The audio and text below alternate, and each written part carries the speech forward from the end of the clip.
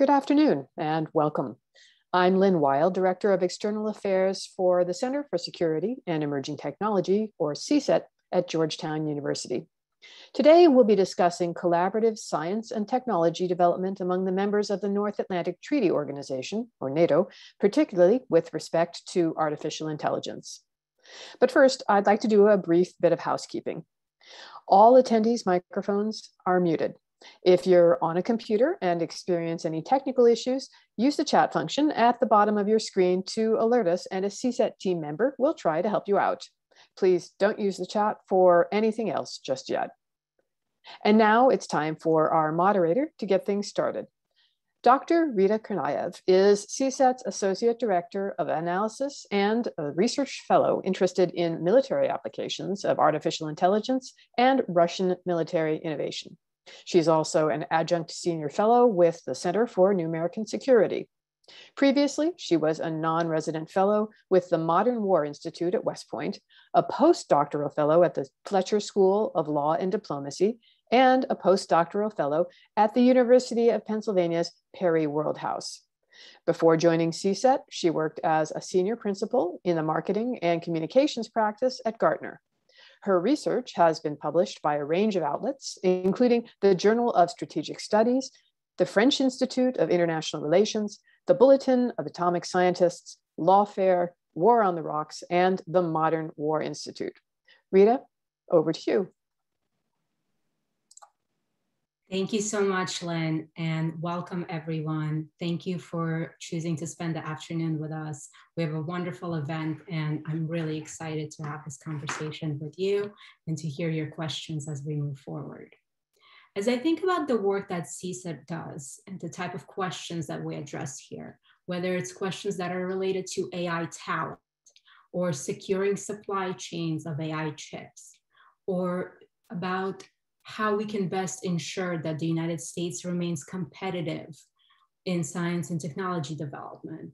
Really when we're looking into what the Department of Defense is doing in artificial intelligence and how to get an edge in operational and military applications of AI. Whether explicitly or implicitly, I think that it's quite clear that alliances are at the center of what we do. And it's fundamental for us to understand how the United States can work best with its allies and partners to ensure that the trajectory of AI is positive in a way that benefits humankind overall, but is also one that is aligned with democratic principles and our ethical values. And I think you will be hard pressed to find a more successful and enduring alliance than NATO.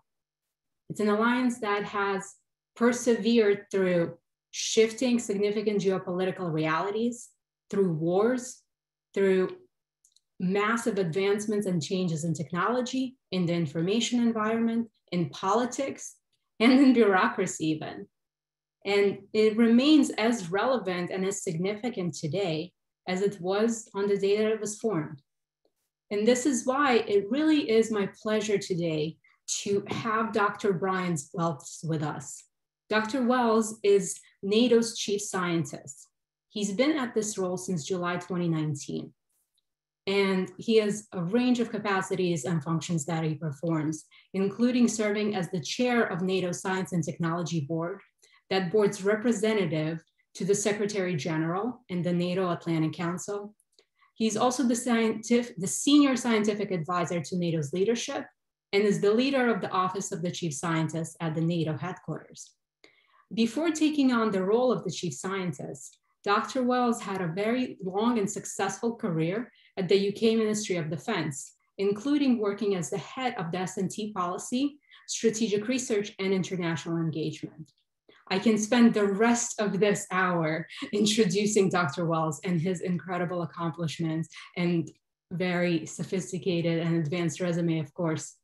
But I think that time is best used by me yielding the floor to him and uh, letting him tell us about his work at NATO and NATO's outlook uh, towards artificial intelligence and broader STEM issues. Dr. Wells, the floor is yours, and we're very excited and proud to have you here. Thank you very much indeed for uh, that introduction. thank you very much. So as uh, has been said, my name is Bryan Wells. I'm NATO's chief scientist, and in that role, I chair the uh, NATO Science and Technology Board, which is composed of the science and technology directors of the allied nations, including, of course, the United States. Um, and I also act as the senior scientific advisor into NATO leadership. And it really is a great pleasure for me to speak to you uh, this afternoon and take, as it were, a, a 60,000 feet look at how NATO is addressing the challenges of artificial intelligence and also other uh, emerging and disruptive technologies. Next slide, please. So this slide summarizes the main themes that I would like to cover today. The first is um, setting out what the challenge is for NATO in addressing the new science and technology and technology uh, work that we are now undertaking, the emerging and disruptive technologies. Then I'd like to say a little bit about the NATO Science and Technology Organization, the organization that is charged with um, meeting the challenges of these new technologies. Then I will um, summarize the range of activities that NATO is undertaking in AI at very high level, of course, and then drill down into one example of how NATO science and technology is helping the alliance uh, address these challenges. And finally, I'd like to draw some of these threads together to provide a conclusion before handing over for questions and answers. So next slide, please. Let me set out um, the broad context in which NATO is addressing AI. To maintain the technolog technological advances that we have and to maintain the technological edge, NATO has identified seven technologies that have been identified as crucial. My own organization, the Science and Technology Organization, has added an eighth technology shown at the bottom, and that is novel materials. Collectively, these are known in NATO as emerging and disruptive technologies, or EDTs in the NATO lexicon. There are no big surprises here, but it allows NATO to bring focus to its efforts to maintain the technological edge.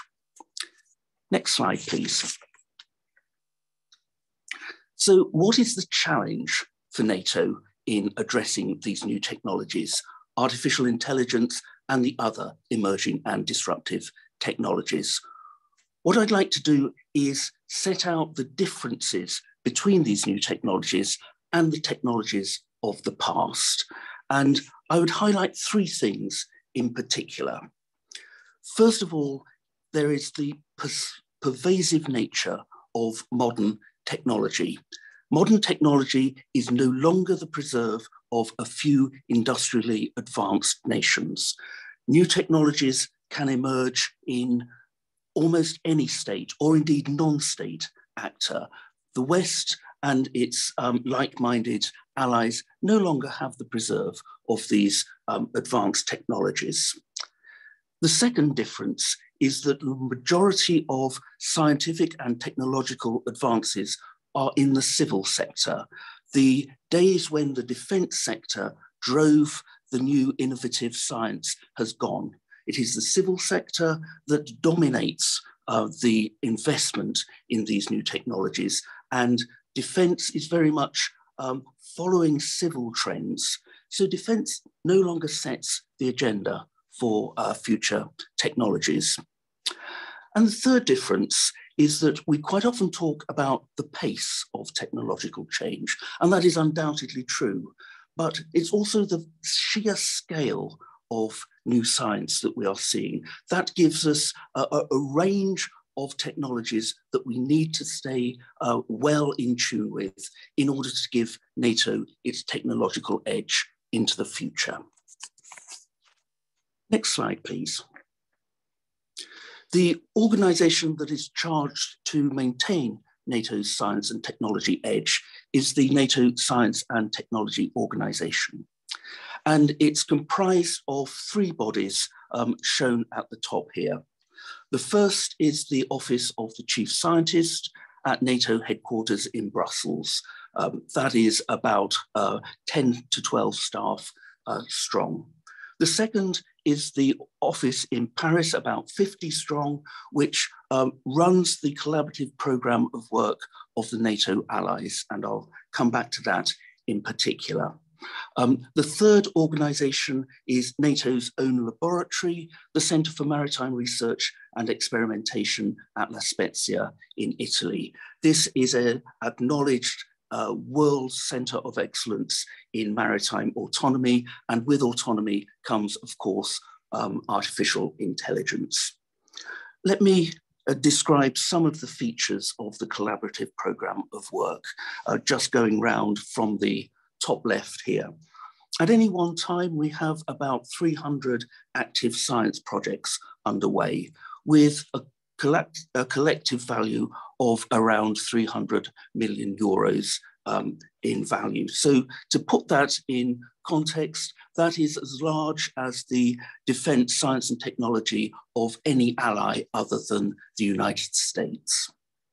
The second point I would highlight is that we actually have the world's largest defense science and technology network, around about 6,000 active researchers from government defense labs, academia, and industry, not only the NATO allies, but like-minded partners as well. The work is funded by the participating nations. So the nations themselves decide what work they want to do under a NATO umbrella and they fund it themselves. But in doing this collaboratively, they share the burden, they share the, the costs, and they bring a rich set of scientific expertise. The United States is the um, ally who participates in the most projects and the ally that brings the most active researchers into this network. So I do believe that the United States uses this collaborative network to very great effect, not only for its own benefit, but undoubtedly to the benefit of the other allies as well. Next slide, please. As has already been said, the role of the chief scientist is really twofold. The first is as chair of the NATO Science and Technology Board, which is the overall governance body of all of this work. This brings together the science and technology directors of the allies, the United States, the other allies, and um, a set of like-minded non-allied partners. But this slide now focuses on the second role, the role of providing scientific advice into NATO leadership. And that really um, translates into four areas here. First of all, I need to translate the science into um, products that are understandable to non-specialist leaders. So for example, the two products here, these are public domain documents. The first is the Science and Technology Trends 2020 to 2040, which was produced last year. And this represents our best scientific judgment of the development of the eight um, emerging and disruptive technologies over the next 20 years and our best judgment on the military implications of that. The second publication just behind that is a uh, publication that we produced this year on the science that underpins the integration of women into the armed forces. Um, so that is the translation of the science into products for leadership. The second role of scientific advice is to identify the trends, not only the major science and technology trends publication, but also providing targeted advice in a timely way um, for leadership to um, alert them to new technology trends as they arise. This also brings an, an important communications um, role to the uh, chief scientist. Uh, communications not only into leadership, but to um, critical organizations like CSET um, that provide us with uh, a wealth of academic and scientific evidence on which we can base our advice into leadership. And finally, the role of provider of scientific advice undoubtedly gives an influence role of the chief scientist to provide evidence base on which leaders can make their decisions on defense and security matters within the alliance. Next slide, please. There are a number of areas where NATO is interested in artificial intelligence, and they're shown here. Um, it's very much grounded not so much in the pure science itself, but in the need to support defense and security operations. Um, we're looking at not so much artificial intelligence itself, but the implications of artificial intelligence for autonomy, for example, for better decision making, and so on. So this slide shows uh, some of the key strategies that NATO has developed over recent years. And we are continuously looking at new and creative ways of moving from the science into the application for defense and security operations of the future. Next slide, please. So the technology itself is not sufficient for NATO technology, AI, and others needs to be considered in an operational context. So we are very much focused on the transition from the science into defense and security applications. Conceptually, this can be thought of um, as a, cycle, as I've shown here. And the science and technology, the science and technology organization is very much focused on the first two phases shown on the uh, left-hand side. So the first uh, phase is the generation of ideas for potential military applications. This is scientists coming together and generating um, amongst themselves in a collaborative framework the ideas that might be um, applicable to future defense and security operations. The second phase is a maturing of that into prototypes for test and evaluation. And then we move uh, continuously up the technology maturation scale um, into ultimately uh, development and production of fieldable military equipment. So the science and technology organization is very much focused on the first two of these phases before handing over to other organizations, particularly um, within the nations themselves for um, the development of those further, um, the testing of them further into ultimately uh, production of the successful ideas. Next slide, please. This slide just gives you a few examples of the, the array of topics that we look at within the science and technology organization um, on AI. I don't want to go through any of these in any particular depth. I just want to give you a flavor of the very broad range of topics that we look at. And as I've said at the beginning, it's very much driven by the needs and concerns of the nations. So when the United States for example, is looking at what AI activities it wishes to uh, conduct under a NATO umbrella. Um, it is very much looking at its own um, needs and concerns and sharing those with the allies. And the allies, of course, benefit from the United States thinking as well. As I've said, it's grounded in the introduction of AI into defense and security operations of the alliance. Next slide, please. Thank you. This slide and the next one just takes a single example of a topic that we have been looking at in recent years, and that is AI and big data for military decision making. Over the last few years, we've run a range of workshops, um, bringing in experts from the United States and other allies to um, identify a range of potential future topics that we need to look at in order to bring together AI and big data for military decision making. And these workshops have provided uh, the basis for identification of particular issues. For example, trust in uh, AI and big data in decision making, the whole nexus around human and machine interfaces and so on. So this has been a range of scoping workshops to provide the basis for further um, deeper work. Next slide, please. And this slide just gives two examples of the further and deeper work that has come out of the workshops on AI and big data in uh, military decision making. And we've developed a range of grand challenges to, um, to address NATO's needs in this area.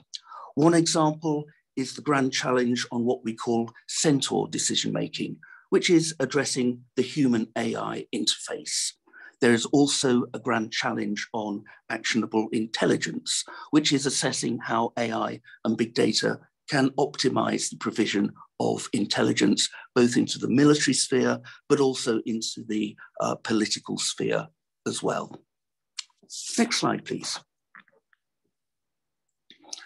And we do not ignore the ethical, legal, and moral issues raised by artificial intelligence and so many other uh, new technologies.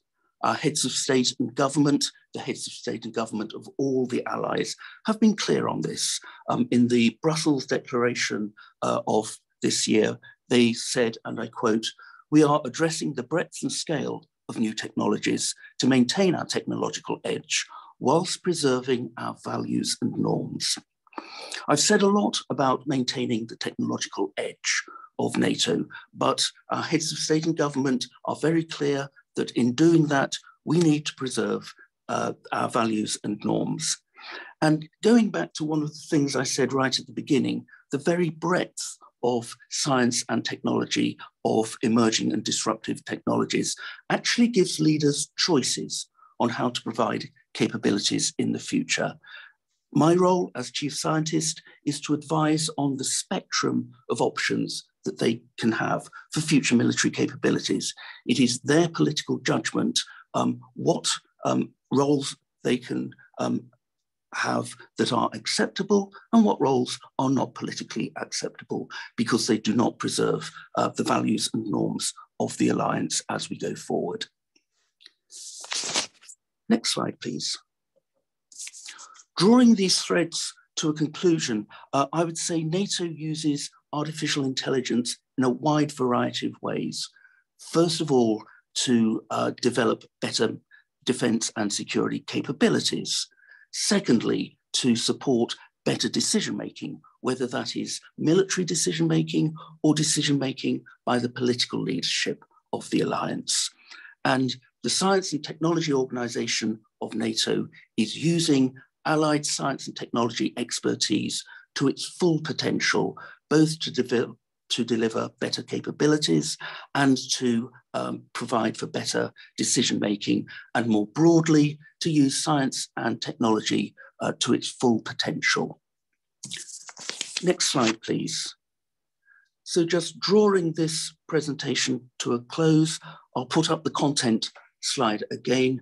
I hope I've explained NATO's science and technology challenge in maintaining the technological edge, what particular roles we need to address if we are to maintain our position at the forefront of technology. I hope I've said a few words about the NATO Science and Technology Organization itself, its role within the alliance. I hope I've covered how, in a very broad way, NATO needs AI across a very broad spectrum of military and political um, activities. And I've drilled down into just one example of how NATO S&T is supporting AI. And with that, I would like to draw this presentation to a conclusion with the final slide, which just um, covers again my introductory slide. And with that, I'd like to hand back to the moderator in order to um, open the floor to Q&A. Thank you very much. Thank you very much, Dr. Wells. This is a fascinating and informative presentation, and I'm very excited to have the opportunity to ask you some questions about it, as well as open to um, our audience. And we're seeing over 100 participants today, which is really, truly wonderful. Um, I want to just say a quick reminder to our audience that if you'd like to pose a question, please post it in the chat. And that way we'll then congregate them and I'll deliver them on your behalf. But as the moderator, I'm going to use this opportunity while everybody's getting their gears going to get us started. It's clear that perhaps the most important and perhaps at the same time, one of the most challenges aspects of NATO is the question of interoperability. And we can talk about, you know, various definitions of interoperability at the legal level, at the operational level, at the information level, of course. But in essence, it is the ability to work together in a reliable way and to share information and to trust one another. And I'm sure as you're aware, there is a very common argument that says that advances in artificial intelligence are going to pose a significant threat to NATO's interoperability. And as gaps in military capabilities between NATO members increase, AI is only going to amplify those and make it harder and harder to work together, to share information, to trust one another, let alone to trust the technology. So I wanted to give you the opportunity to tell us a little bit more about how this, you know, the imperative as well as the challenge of interoperability factors into your work and into the work that NATO is doing more broadly on the artificial intelligence front. Thank you. Thank you very much indeed. And interoperability is right at the heart of um, NATO's defense and security operations. In very many ways, the interoperability challenge has always been with NATO. Um, the allies do have um, different capabilities, not only different types of uh, capability, but at different levels of technological ad advancement. Um, and because the scientists come together at a very early stage of um, generating ideas for future military capability, and they work together um, as colleagues, um, the issue of interoperability of NATO standardization can be built in right at the beginning. Um, it's a problem that, or it's an issue that has um, always been with us. Um, emerging and disruptive technologies, as you rightly say, can uh, accentuate the differences, but also it can provide some of the solutions. Um, there will always be different types of uh, capability that allies uh, use. The important thing is that they can talk to each other. And AI can provide some of the solutions to that. Um, NATO has a strong role in the setting of um, military standards and standardization. Um, that can be built in right from the outset. And again, if I may say, because the United States uh, participates in so much of the uh, work of the Science and Technology Organization, the United States can look at how it can interoperate with other allies right at the outset and actually use these new technologies um, to facilitate the interoperability of what will be um, potentially technologically divergent capabilities in the future. So uh, it, it is a challenge. I would argue that it's a challenge that we are well aware of and that we build in right from the outset in our work.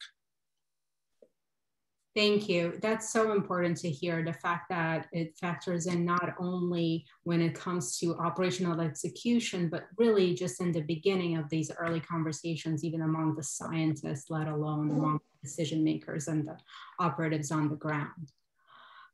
So you gave us, now that I'm looking through our questions, I'm thinking that, you know, you gave us such an interesting and in-depth uh, discussion of what NATO is doing. But of course, in order to advance a more democratic and ethical vision of artificial intelligence, even NATO needs allies. So as we're looking around, uh, what do you envision NATO, uh, how can NATO work together with organizations like the European Union, working on artificial intelligence initiatives and moving forward in that direction, or some other organizations that come to mind? Who are NATO's closest allies in the AI progression? Uh, NATO has made a number of joint declarations with the European Union, uh, covering the very broad range of responsibilities that the two organizations have. And science and technology uh, cooperation is one of those. Um, I have good relations with um, my uh, colleagues in the European Union. Um, technology trends, for example, was the subject of uh, close discussions between myself and the relevant Director Generals of the European Commission. Um, we also uh, leverage the very broad civil research of the European Commission. We've both got interests in knowing what the new technologies of the future are going to be. So there is no doubt that um, relations with the European Union are very important uh, now and in going forward. Um, I would also uh, emphasize that there are a number of uh, non-NATO partners um, that contribute a great deal to um, the Alliance Science and Technology.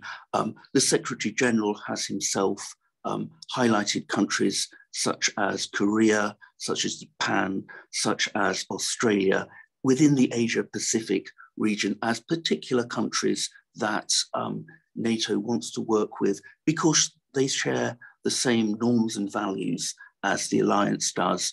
Um, and in the particular field of science and technology, these countries also bring particular value to, to the NATO allies, but also uh, they benefit from cooperation with the United States um, and other allies under the NATO umbrella. Thank you. So this is a truly collaborative vision, both within NATO and more broadly with our allies around the world.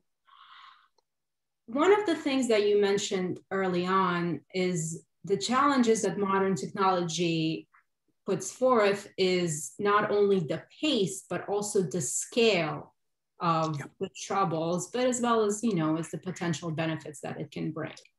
And as we're thinking about this pace, uh, some of our audience members are curious about understanding the processes that NATO has for identifying these emergent and disruptive technology trends early, really early in the, you know, in their evolution. How does NATO think about this? What is this, what is NATO's perspective to this ID process? The key here is timescales. Um, we can't afford to do everything at once. Um, we need to be able to prioritize whilst recognizing the, the very broad scale of uh, scientific developments and, and the pace. So certain technologies um, we can mention indeed autonomy, AI, space. These are with us and we need to address them now. Um, certain other technologies, one can think particularly of quantum, um, maybe some distance in the future.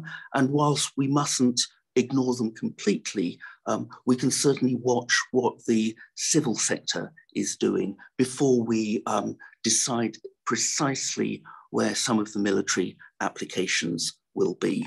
Um, we are also um, working with a number of uh, institutions looking at the very weak signals in the civil sector that could become uh, the next generation of emerging and disruptive technologies. So the, the answer to that is very much coming to judgments on the timescale uh, at which a, an emerging technology becomes militarily relevant.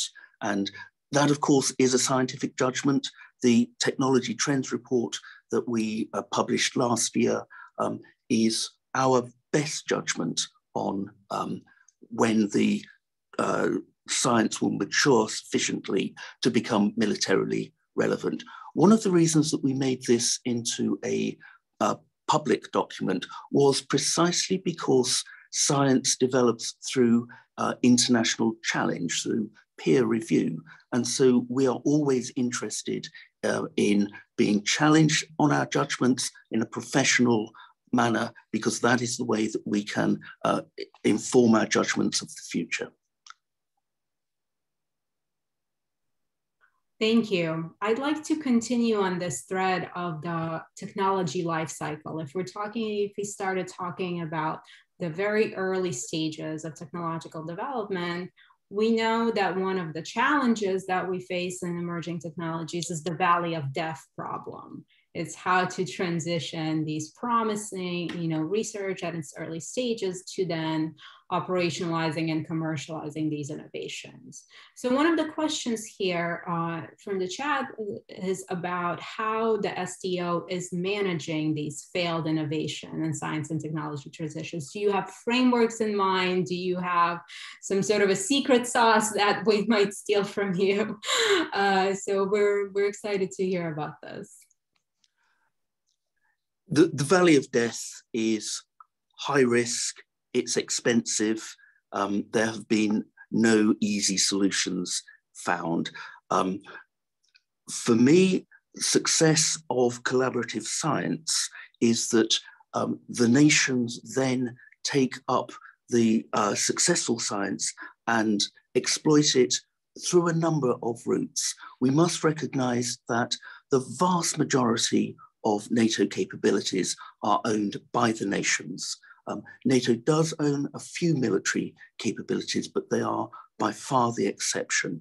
So the science that is done collaboratively um, may well then get exploited by the nations in either nationally, if they wish to uh, uh, follow a national uh, procurement process, or in a different multinational um, setting.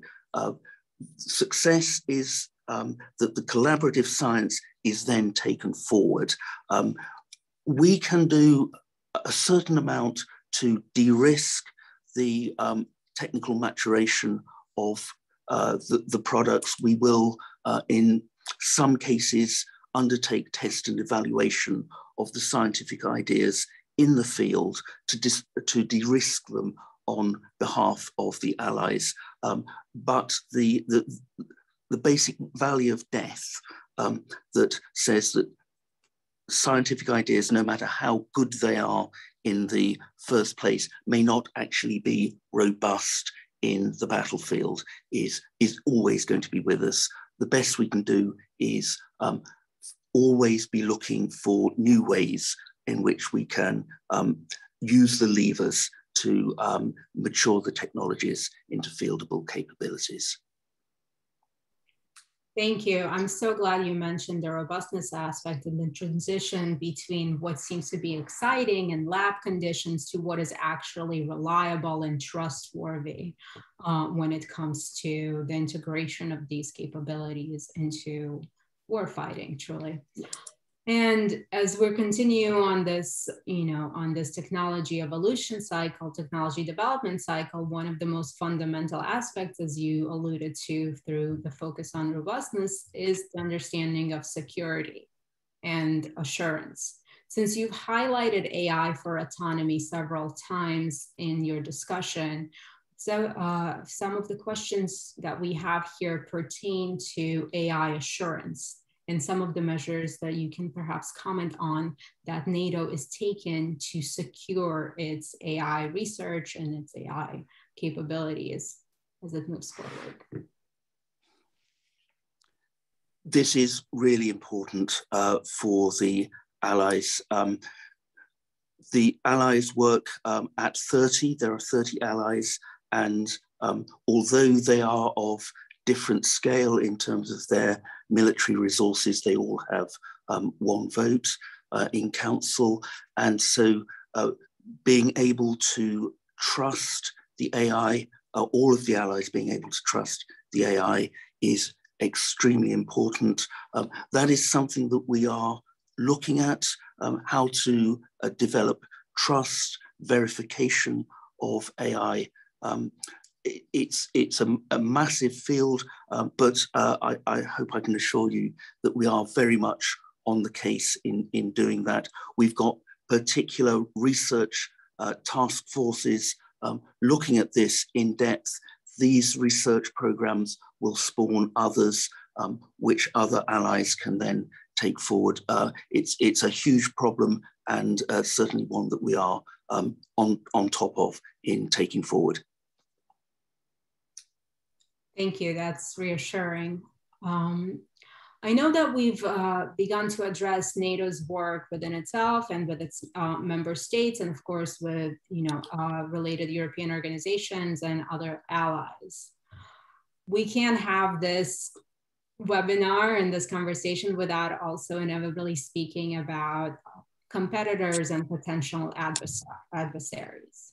So I think one of the another interesting questions that we have here at the chat is an assessment of yours of how NATO's investments and NATO's areas of focus in emerging technologies, or particularly in artificial intelligence, compare to what you're seeing in investments that our adversaries and competitors are making, whether it's China or Russia or other countries that are pushing um, these emerging technologies in directions opposite of what NATO envisions for them. Yes, thank, thank you. Um, when we published our technology trends report last year, um, as I've said, it was deliberately a public release document. Um, it did address not only the opportunities for the Allies, but also some of the risks and challenges um, that these technologies may be uh, used against us. Um, for understandable reasons, um, we are looking at this, we are looking at the, the, the threat of the use of these technologies against the Allies and NATO. We then get into a uh, classified area. Um, of course, I won't go into the details, but it's clear from uh, the technology trends report that this is something that is very much in our minds from um, states and indeed non-states uh, that do not share the values of, of, of the Allies. Um, we are looking carefully at um, a number of uh, state actors um, and their own um, developments in science and technology and EDTs. We take that seriously um, in terms of their uh, evolution, the pace of their development, and what the Allies can do collectively to uh, defend ourselves against that against any, any potential actions um, to, in order to maintain the alliance technological edge. It's something um, clearly that moves into uh, the classified sphere very quickly, but it's clear from um, the publication that we made available in the public domain last year that it is something that we are taking very seriously. Thank you. As we're thinking about this you know, broad span of actors that NATO works with from its own member states, from other allies, and of course, what the competitors and adversaries are doing also inevitably informs the type of projects that you take on, I imagine, classified or otherwise. Yeah. You also mentioned early on that another challenge that comes from these modern technology is that innovation is no longer being driven by states, that much of it is taking place in the private enterprise and the commercial space. So there are a few questions here in the um, in the chat that allude to seeking a better understanding of how NATO works with the private enterprises. What kind of a role do they play? What is the nature of that relationship? Where do they factor in most importantly? If we start with the, um, the Science and Technology Organization itself, um, as I said, this is a, a network of 6,000 scientists.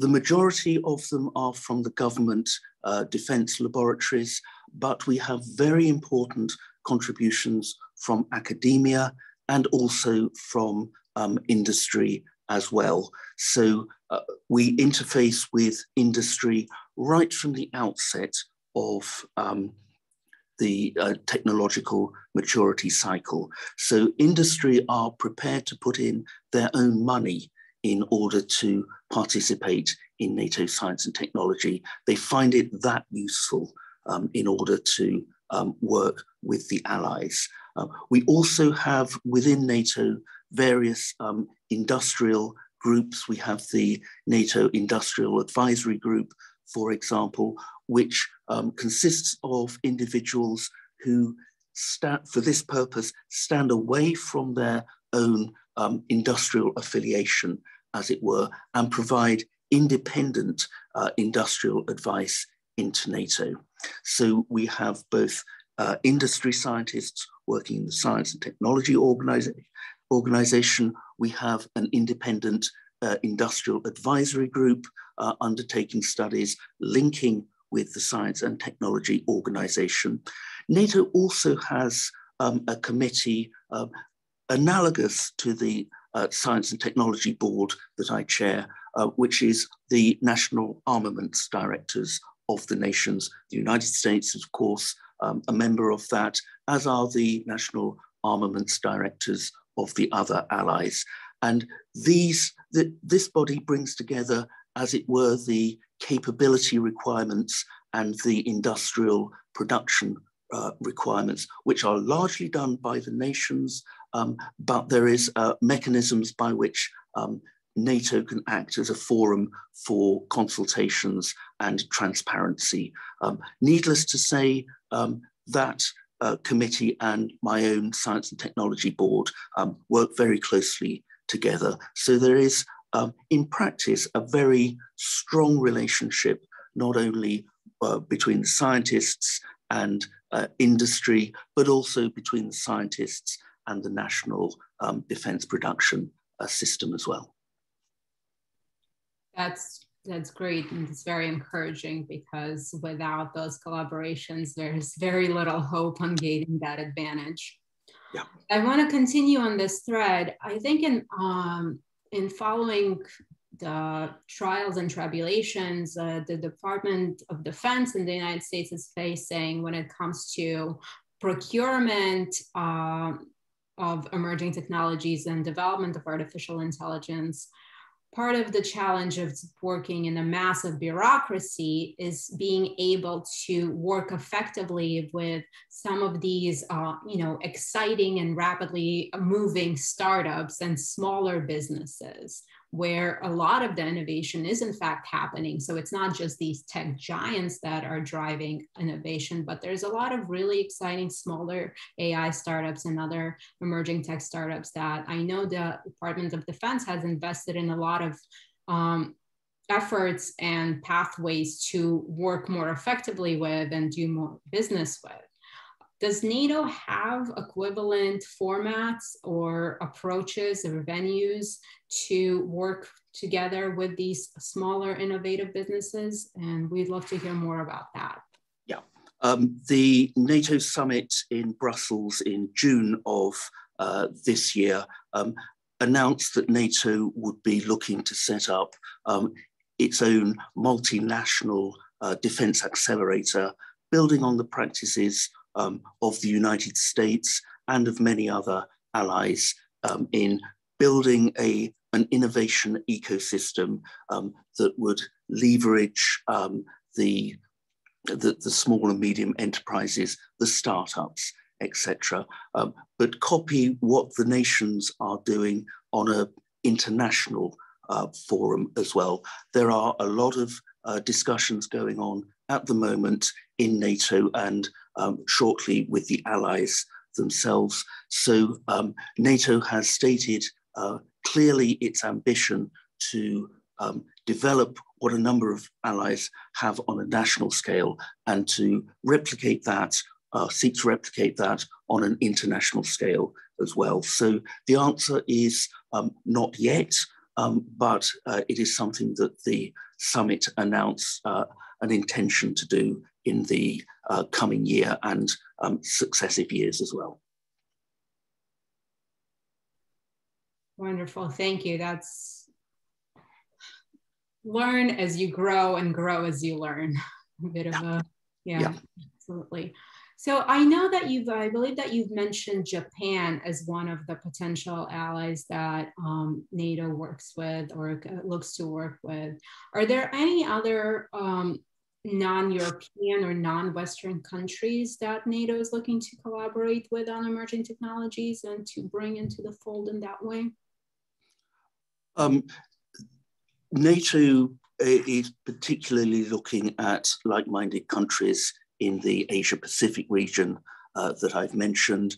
Uh, so far as uh, the Science and Technology Organization is concerned, the other uh, particular countries I, I, would highlight are in fact uh, in Europe and they are um, uh, members of the European Union that are not NATO allies themselves. Um, uh, here we're looking particularly at Sweden and Finland, both of which have um, very strong defense science capabilities. Um, and inclusion of those is part of the bringing together of NATO and the European Union. Um, so yes, the, the, there is a very strong push uh, across the piece in NATO to um, link with like-minded nations in the Asia Pacific region, but also within my own sphere of science and technology, bringing in um, some of the uh, other European uh, countries that are not NATO allies uh, is, is a very important part of my work as well. Thank you. That's good to hear as well.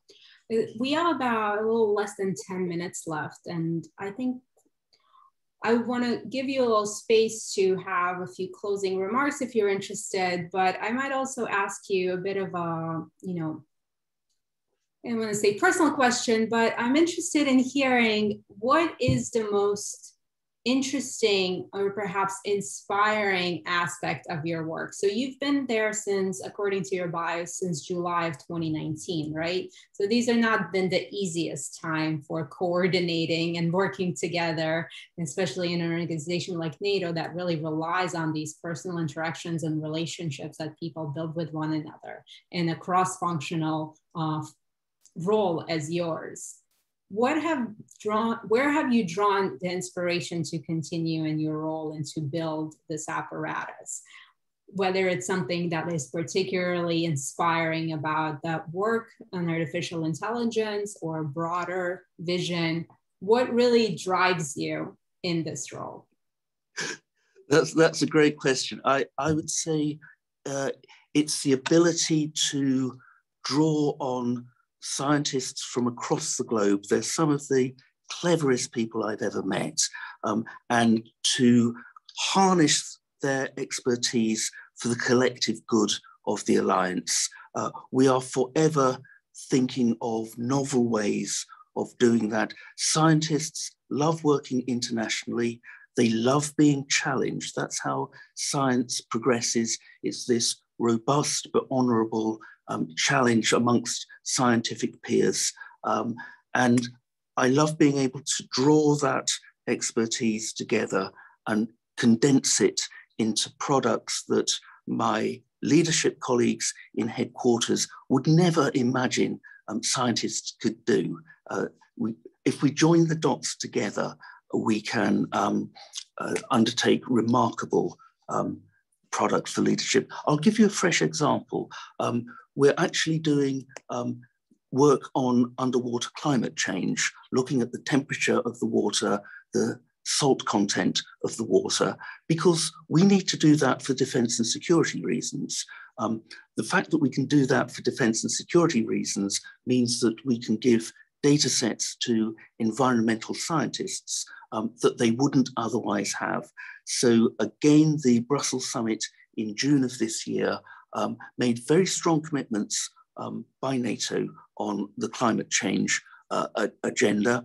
Um, the Secretary General is a former UN Special Representative on climate change. Um, my own organization, particularly the Center for Maritime Research and Experimentation, can undertake um, work on climate change um, that actually has defense and security implications. So it's joining those dots together um, that is one of the most um, productive and rewarding parts of my job. That's really wonderful to hear. And I, I share your excitement at being surrounded by people who are open to collaboration and who really see the significance and the positive that comes from sharing uh, knowledge and learning from one another. I think at CSET, we really emphasize that with one another. Uh, as we're nearing the end of our time here, there is a question that was actually the first question that came up in the chat, but I saved it for last because I think it'd be really interesting to hear your opinion on this. And the question asks, what is the book that you would recommend to students that are new in this artificial intelligence space or even more broadly in emerging technologies? And what is a book that you recommend for professionals that are already familiar with this space, but still clearly, hopefully, have much to learn? I would recommend the free publication that we did last year on technology trends 2020 to 2040. That really does look at two levels of work. It starts with uh, an overview of technologies. That's, as it were, would be for the uh, introductory um, beginner looking at this. There are then individual chapters on each of the technologies. Um, people may not want to read all of them, um, but if they're interested in the defense and security implications of AI, for example, that gives our best judgment on AI. It gives our best judgment on hypersonics, on um, biomedical and human enhancement, for example. So that publication, um, my colleagues put a lot of effort into uh, distilling that both as an overview for leadership, but also an introduction to these technologies and a more detailed um, part for those um, who have mastered some of, of these technologies and want to dig deeper into the detail. Thank you. Developing a publication that speaks to a broad audience, those who are just now entering the field and those who have spent years in trying to understand what's happening. It's a remarkable accomplishment. I know for a fact from personal experience, not an easy one at all. Uh, so on that note, Dr. Wells, I want to thank you again so much for spending this time with us and for letting us learn from you and to hear about all the you know promising things that NATO is involved in. And thank you so much to our audience for being engaged in the chat function and for all of your fascinating questions. And I'll head it over to Lynn uh, to close us off. Thank you again. Have a great Thank evening. you. Thank you. Dr. Wells, thank you so much for joining us and sharing your insights. And special thanks to our moderator, Dr. Margarita Konaev. And thanks too to everyone who attended this event for your many thought-provoking questions and comments. If you'd like to learn more about CSET, please go to cset.georgetown.edu and sign up for our newsletter and our research updates. Our next webinar takes place on November 10th when our guest speaker will be Michael Page, who heads CSET's crowd forecasting project, Foretell. In the meantime, please stay safe and we hope to see you again, if only virtually, real soon.